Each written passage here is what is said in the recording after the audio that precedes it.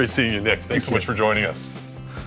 Really happy to, uh, to be here to show you the product of the collaboration that we've been working on and try and articulate in a, in a vision demo how we see the airline industry uh, transitioning and how we see digital capabilities enabling Rolls-Royce services in the future. Fantastic. We've been providing um, using and providing data and analytical services as part of our engine services for a couple of decades now. And this is such an exciting time to embrace the big data technologies, using your platform, using machine learning, and using our own engineering models and engineering know-how, as well as the operational know-how of our customers to provide a better service to the aviation industry. So the demonstration we're building is a representation of how we see uh, the industry collaborating in the future. There are many parties all trying to deliver better service to the airline industry and to us as passengers. No one party can do that. We believe collaboration is the right model, and I'd like to show you how we're planning to I'll enable that. So putting everything together in one place for an airline operator is quite novel. Um, there are many, many different systems drowning in lots and lots of data. So the industry does not have a shortage of data. The industry has a shortage of insight and a shortage of intelligence. That's not because our customers aren't intelligent and Rolls-Royce isn't intelligent and Boeing isn't intelligent and so on. It's a lack of consistent information in the same place being managed, processed, analyzed and visualized in the same manner. It's really important for us as a company to share information with our customers. And our model of collaboration with customers, uh, customers enables us to build their operational insight and knowledge into our solutions. What we're going to talk through here is an example of how this broader collaboration comes together. I'm just going to tell you a story of the day in the life of an airline and how a particular problem with a Rolls-Royce engine can manifest itself and what, through digital technologies, we're going to do better in the future to, to, to drive better business performance. Our overall goal and our customers' goal is to understand where their airplanes are, how they're operating, are they serviceable and are they healthy.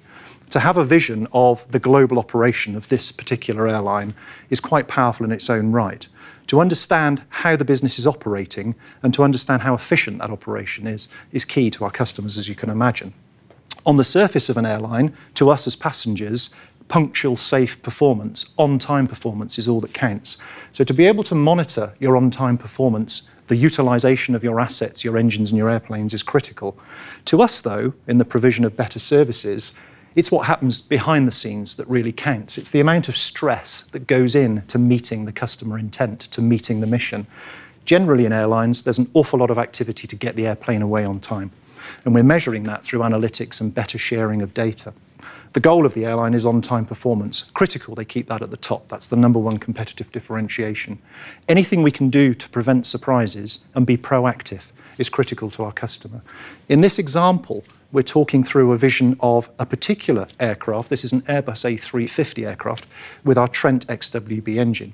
On one of these aircraft in particular, the only one that the airline really should be bothered with, uh, with analysing and investigating today, we have a suspect fuel pump problem. So this is analytically driven. This isn't being driven by the life of that particular component. Every machine and every component is unique. It's like a human being we tend to treat these things as uh, the same. So we give them the same life, we manage them in the same way. So an awful lot of components are thrown away with remaining useful life on them. The goal in these types of systems and in the future of our business model is to really apply prognostics, to really use prognostics and analytics to determine when biologically something is going wrong with a component, to act upon it before it manifests itself as a delay or cancellation.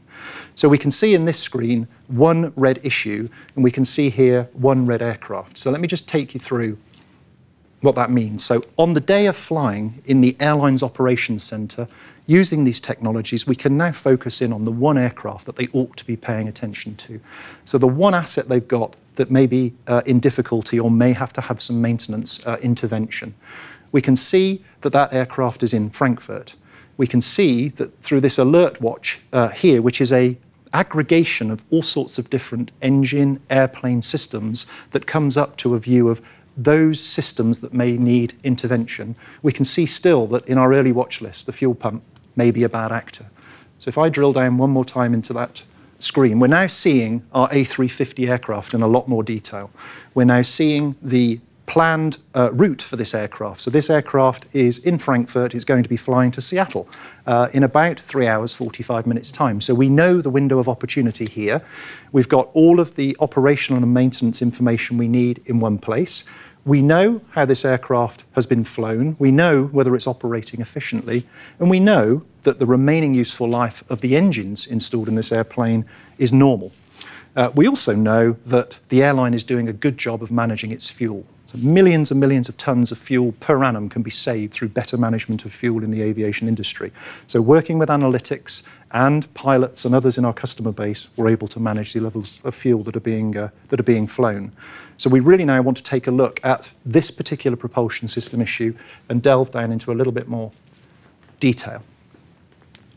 So now we're starting to see the digital detail of our Trent XWB engine. So the engine here is exploded, so you can see the inner core of the engine. And we're starting to look at parameters now which are more pertinent to the engine itself. Uh, where the engine is fitted, uh, its current level of performance. So is it operating normally? Is there any need to intervene? On the surface of things, there isn't. And frankly, this engine and airplane will carry on operating successfully and happily for another uh, several flights. What we're doing here is being proactive and we're pulling forward potential issues. We can see here that the engine was washed recently but the fuel performance is starting to deteriorate. So again, in our machine learning and modeling capabilities, we're able to predict what the normalized fuel burn for this engine is. Using analytics, we're able to predict a point when it's economically viable for our customers to wash our engines to get their fuel and performance back up again. So again, a novel use of analytics that helps add value to our customers. We can see here, though, that our fuel pump is potentially the bad actor of all the green systems and all the green indications here. We'd like to go and take a closer look. We're now in the engineering world of our customer's organization and in the engineering world of Rolls-Royce. So we've driven right down through the system to the point where we're looking for ver verification and validation through analytics that this is a bad actor, that this fuel pump may need to be changed. This is what we believe our customers are looking for in terms of trusted solutions to analytics uh, and trusted output. So in this uh, arrangement you can see here, there are a number, of standard measures that we would use in our engines uh, to monitor the health and integrity of them. So you can see here a fuel pump speed chart. It, its speed increases, it decreases. It's depending on how much fuel it's pumping into the engine. You'd expect that. But there's some fluctuations here which may be abnormal. You can see here that the amount of power, the amount of electrical power that's being pumped into that uh, pump may be uh, exceeding expectations. So maybe there's a bearing that's starting to wear or there's some mechanical issue in that pump. So while it's healthy from a life point of view, it may not be healthy from a mechanical point of view. Everything is different. Everything needs to be managed and monitored in its own way. So now we start to get into additional levels of prognostic capability where the real intelligence in the analytics are starting to come together we can start to see that the derived pressure readings in the pump are varying uh, beyond normal expectation. We can start to see that the amount of fuel that the pump's actually producing, given its power and given its speed, isn't where we expect it to be. But we still need more. So we're using Cortana uh, and other modeling and uh, machine learning capabilities to understand what normality is for the components in our engine. How should it be operating? Let's take away what's normal, let's look at the rest. And in these types of models of normality, we're able to magnify what might be going wrong within the residual data. So really intelligent application of machine learning capabilities. And we're able to do that as a function of the collaboration with you. We're able to determine from this that this pump is subject to a potential problem. We're able to determine that the aircraft is sat in Frankfurt with three hours, 45 minutes on the clock until it takes off to Seattle. Through this and the linkage to CRM and other capabilities, we're able to determine that we have the people and the time in Frankfurt to intervene and make this maintenance correction on the, on the airplane. Again, our goal as Rolls-Royce is to keep our customers flying and available 100% of the time. So it's prudent for us to recommend that action to intervene. In requesting that maintenance, it's obviously in a regulated, safety critical environment important that we record what's happened. So here is an example in terms of the fuel, in terms of this particular fuel pump, of where this component sits on the average life for such a component. So we're saying it's actually still healthy from a life point of view. We're saying the, the aircraft and the engine can operate quite safely and quite satisfactorily to the next maintenance window. But if that aircraft becomes uh, stuck or delayed at an away from base location where this activity couldn't be carried out, or this boils up into a more serious problem for the airline, we think it would be prudent to intervene now, be very, very proactive, uh, and have this maintenance done. So the linkage of the physical in the engine, the digital in terms of the processing of data and the visualization of data, now moves into the confirmation that we want actionable insight and we want people to go and intervene uh, and do this work. In our system now, we're talking to the uh, maintenance planning systems, the ERP systems. We've already confirmed that we've got the people, we've already confirmed we've got the parts.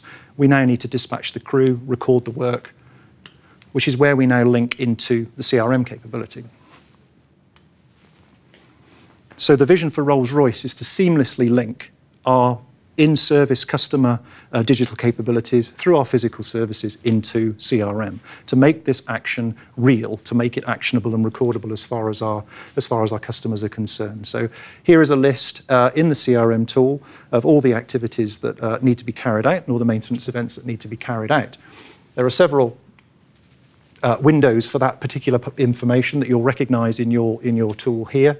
Um, and we would like to go away uh, and ensure that that work can be done. So now we're into the scheduling tool to actually look if we've, if we've got the opportunity to schedule that window. We know we had 3 hours 45. We know the work's going to take about 2 hours.